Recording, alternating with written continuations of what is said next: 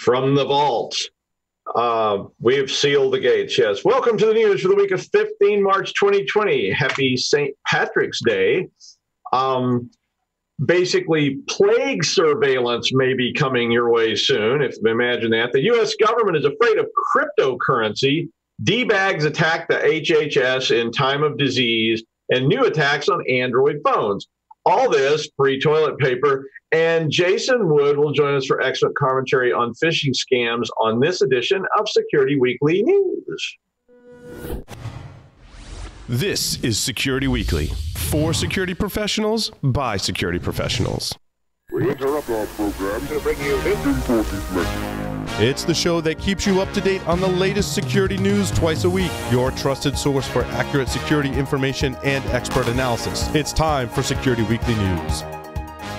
Make sure your team is prepared to fight off the latest cybersecurity threat. IT Pro TV is the resource to keep you and your IT team skills up to date. You can stream IT Pro TV courses live and on demand, so there's no need to send staff to offsite training. Team subscriptions include Pro Portal, so managers have full control over your team's training schedule. Go to itpro.tv slash hack-naked and use the code HN30 to try it free for seven days and receive 30% off your monthly membership. Well, we're not shut down, but we are staying uh, at home. So this is being broadcast from my studio, which is why I look so sexy. Um, all right, let's get to the news. Uh, all the news is fit to print about cybersecurity. The U.S. government is showing increasing interest in cryptocurrencies. If you recall last month, Chinese nationals were charged with money laundering, and apparently there's an increased focus on the use of cryptocurrencies for both uh, legal and illegal activity in uh, in both the United States and the world. U.S. Treasury Secretary Steven Mnuchin testified in February that the Treasury Department would be introducing stricter regulations to somehow try and manage illegal activities uh, involving cryptocurrency. He said uh, his goal was to ensure that law enforcement can see where money is flowing usually language like that gets a lot of people kind of up in arms. Uh, in addition to that, the IRS has now issued guidance in a special form. Imagine a special form from the IRS, but they've issued guidance that you must disclose any income involving virtual currency transactions. Uh, this is a great article that I put in the wiki about this topic with them talking about the U.S. The title of the article was about the U.S. getting involved in blockchaining, but they, it really didn't talk that much about blockchaining. It was talking more about them wanting to address uh, cryptocurrencies uh, at the in the U.S. And obviously, the governments of the world don't much like cryptocurrencies or blockchaining unless they control it. So, a lot of people on both sides uh, of those topics. Well, the U.S. government, then, in particular, the Senate, voted to extend three surveillance powers that are used by federal law enforcement. So, this stuff like FISA uh, allows government law enforcement agencies to fight terrorism. And there was a lot of controversy about these bills, which were put in place back around 9 11 because a lot of people were saying, we don't care, anything goes, suspend my rights, whatever you need to do in order to get me uh, safe. And this was coming up for renewal before all the other chaos that's going on started. And um, basically it was thought that the senate was going to revise some of these controversial uh, there was three of these controversial uh, rules but they extended them now for 75 more days. Uh, basically they allow the fbi to obtain court orders to collect business records on individuals who are under uh, national security investigation. So that means that they don't necessarily have to have probable cause to get those. I'm not an attorney so don't consider this legal advice uh, it also allows, there's another one that allows roving wiretaps, which means they can just jump from phone to phone to phone, uh, doing surveillance on people extensively. And another part of this, which allows monitoring of individuals who don't have any ties at all to international terrorism, which that actually makes sense to me because there's plenty of people that are terrorists who are not necessarily international. But obviously, depending on you, these may seem ominous or they may seem great uh, different people have different points of views, and it's not my job to tell you what that point of view should be. But this was a complicated uh, set of uh, discussions going on about surveillance in the United States. And it's always uh, been a very controversial issue in the United States when we talk about government surveillance in general. Uh, all of these acts were passed in the wake of 9 11, and they've all been controversial, and there's been a lot of calls for them to be revised. But high levels of surveillance uh, in China, South Korea, and Israel have allowed for tracking precision movements of individuals in the current pandemic. So, through the use of facial recognition and cell phones and so forth, they've been able to very carefully track the movement of people in those countries and, as, as a consequence, reduce the impact of the pandemic. So, much like 9 11, there is a lot of pressure from people coming to suspend rights, to increase surveillance on the general public, and you know, calling for the need for that. And who knows uh, what may come along. So, so far, the United States has not moved in that direction. And general public opinion of surveillance, uh, particularly facial recognition surveillance and tracking, are not very popular. So uh, at this point, it did not seem that the Congress or anybody else was getting ready to jump on the bandwagon of uh, Chinese style surveillance. And I don't know how popular that would be. But these same cases that came out of all this stuff did result in some domestic arrests. Uh, two men in Michigan were arrested for food stamp fraud, which resulted from surveillance under the various acts where they were looking for international terrorism incidents and so forth. But basically, the agency said if we see crime, we have to investigate it. I mean that that makes sense to the you know if I put the law enforcement hat on and say, well, you know that makes sense. If you walk into a place because there was a noise complaint and there's bricks of cocaine on the table, you might have to do something about that. Um, but using these anti-terrorism surveillance acts, according to ACLU, can basically be used to circumvent the Fourth Amendment. If you're unaware, the Fourth Amendment of the U.S. Constitution provides for privacy uh, and protection from law enforcement, you know, basically investigating you. But regardless of how you feel about either side of this issue, and different people have have you know very different opinions about it, it is an interesting story to read, uh, and and I did enjoy it. Um, of course, in the scum of the earth category of the week, uh, apparently the Department of Health and Human Services was experiencing some unusual activity on Sunday night. Uh, it wasn't a hack. It, but apparently it was a, a, a, distributed denial of service attack someone was trying to execute against HHS. If you aren't aware, HHS is the branch of the U.S. government, Health and Human Services, that is responsible for, well, health and, and, and human services. And, you know, so um, not really exactly. It's kind of like, you know, let's go take out the hospital when all hell is breaking loose. But um, so that was why I, I call them d bags in the in the title. Apparently, according to C, the uh, CISA, the attack was not particularly successful. And I did include a, a section of commentary talking about this attack and its impact. Cyber attacks are certainly going to be more common uh, as as we go more pe- as more people go online, especially as we see strains on the networks that are going on, I think we're going to have a lot more users who are going to be unfamiliar, unpracticed, and struggling to do their jobs remotely. So we definitely need to be vi- vigilant and supportive of, of all these efforts as cybersecurity professionals. So keep all that in mind and, and be patient with some of the new people that are that are joining us for the first time online uh, in the world, and they're going to be heavy targets, of course, as well. DomainTools noted an Android app that provides COVID 19 tracking for users, but is, wait for it, ransomware. It locks a phone using COVID lock, and it basically threatens to erase your data, leak your data, et cetera, et cetera, et cetera, if a $100 Bitcoin ransom is not paid. So, also in the, the D-bag category, uh, releasing something that you know people that are scared and desperate are going to use as ransomware. You know, but I mean that's that's how it works. So uh, you might as well get used to that idea. And if that Android news wasn't bad enough, a new type of Android stalkerware can install itself on the system partition of the Android phone and then proceed to steal the hashes uh, for the screen unlock pattern. You know, that one of those. Uh, if you just if you're using those screen unlock patterns where you make a symbol, uh, I'm making a pentagram, um, uh, unlock a pattern or a password. Uh, the particular software malware is called MonitorMinor and it does target both the login, but it also targets applications like Gmail or pretty much any kind of communications app that is on the phone. It does run as root, so that it, it, it has to get that access, but it has built into it a way to do that.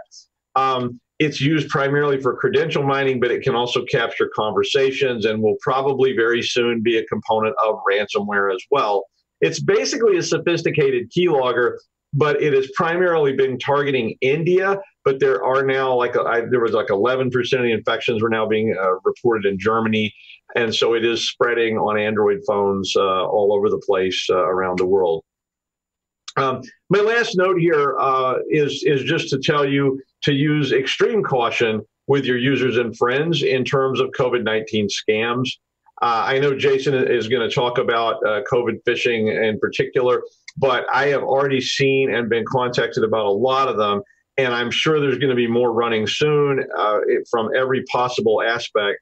Um, these guys are going to adapt uh, and attack your users, uh, you know, with offers of toilet paper, with offers of information, et cetera, et cetera, et cetera. And all of that is going to be very challenging as we get a lot of people using online systems that have never used them before in the past. I, I know at all the, I mean, every university in, in the United States and maybe the world is closed uh, for the first time. So be advised. And when we, so when we return, uh, we will welcome Jason Wood, who will join us from his safe haven and will be providing expert commentary about COVID 19 phishing scams. So stick around.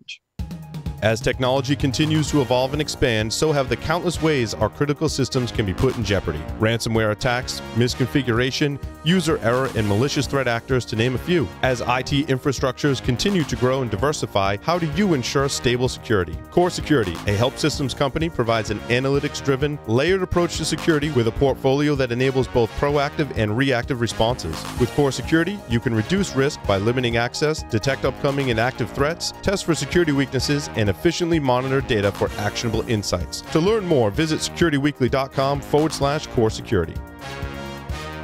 And now, live from the vaults, uh, multiple vaults. We're not in the same vault, so we all have to have our own separate vaults because, you know, social isolationism and all that good stuff. Although no one is more prepared to deal with social isolation than me.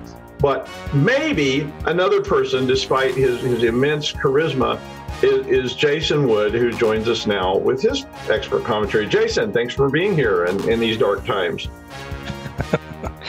yeah, it's uh, been interesting, and I, my wife and I were joking around about the, uh, the the changes of people working from home and stuff like that. I said, well, I've been practicing at this for 13 years, so uh, still sticking in my in my normal hideout.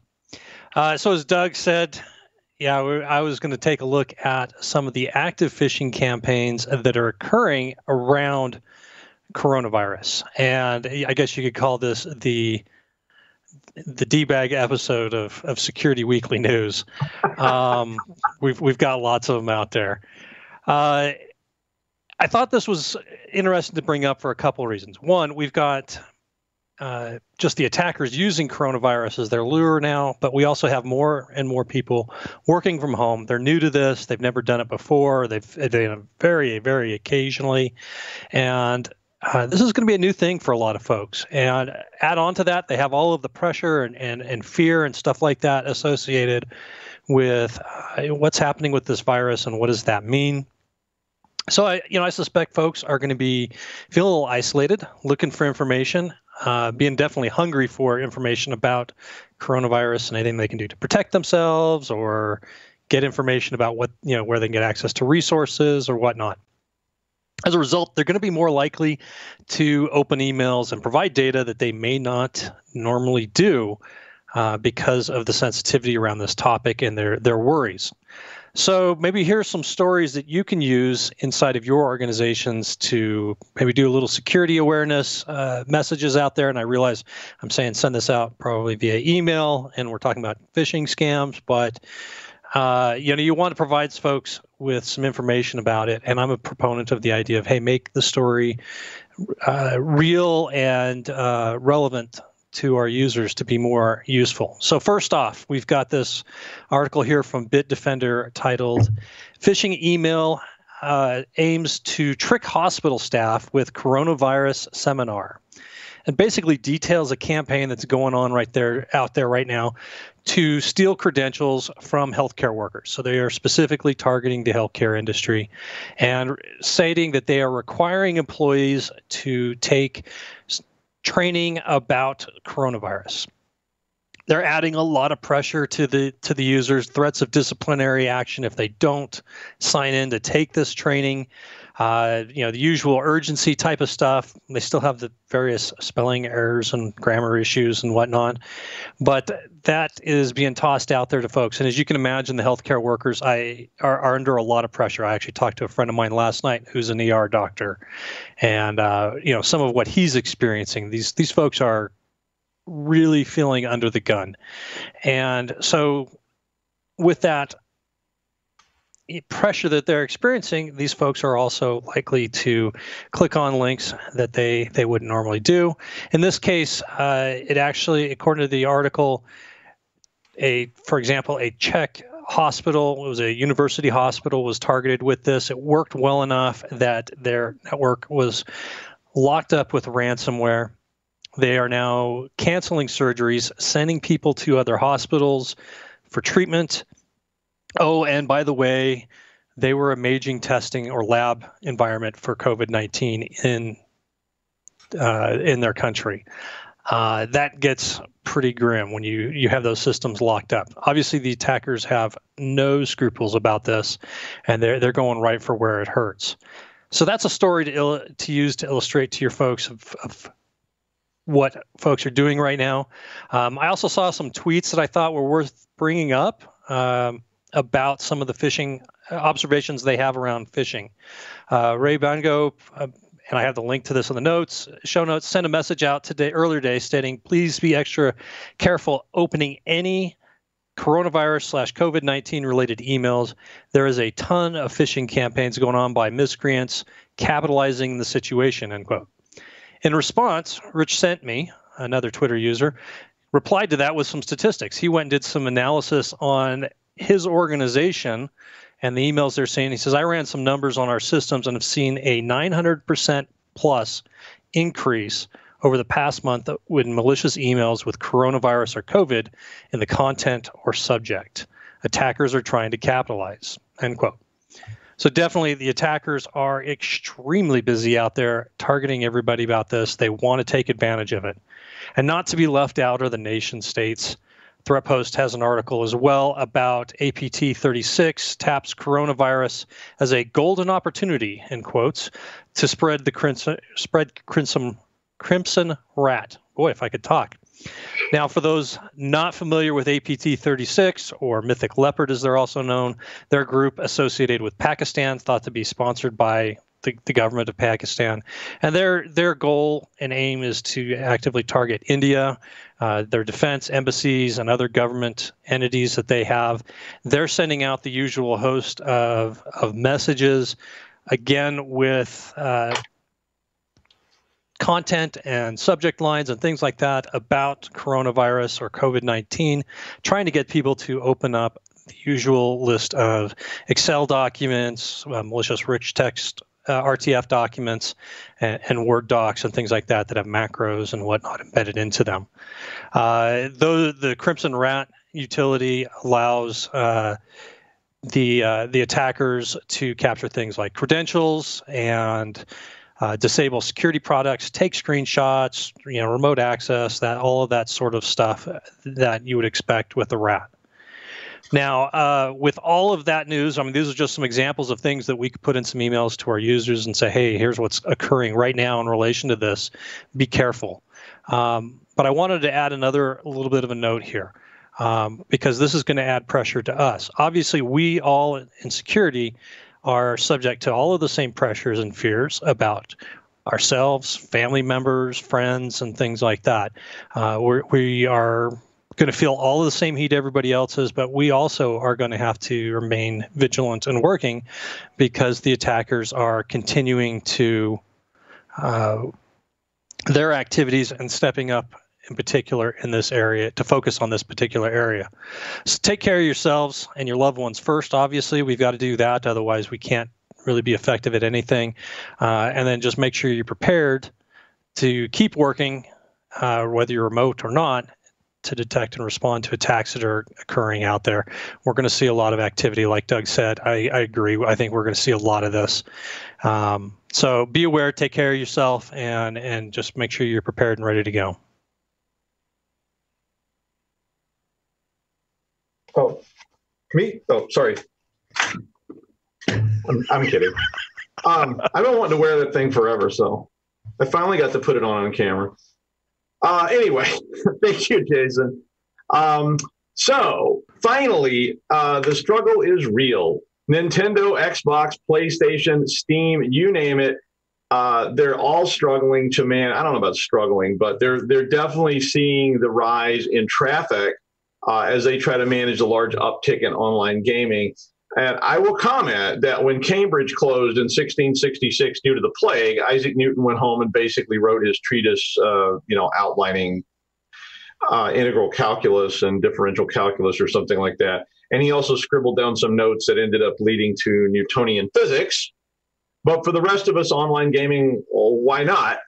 Uh, but hopefully, all the networks uh, that we support, et cetera, will be up to the task. And as everybody joins in uh, on the isolationist lifestyle uh, that some of us have always enjoyed. But as Jason said, I think we all need to be very vigilant that uh, we we both help our friends and families and keep uh, keep up on this because the scam people actually have absolutely no no problem at all jumping on this and taking advantage of the elderly, taking advantage of anyone they can take advantage of. That's just part of doing that. So, with that, from the bunker, I, I'm Doug White. Thanks for joining us for this episode of Security Weekly News. I will be back on Friday with the Security Weekly News wrap up. So be safe, and uh, we'll see you then. Thanks. Bye.